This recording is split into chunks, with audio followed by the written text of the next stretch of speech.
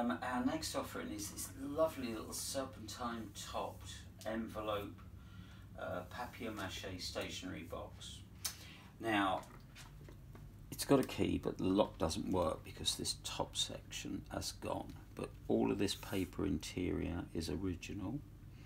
Um, it's in pretty good condition. As you can see, the paintwork is super on it. But there, just need to point out, it's had a break there at some stage, but it's a pretty clean break. It doesn't really affect the box.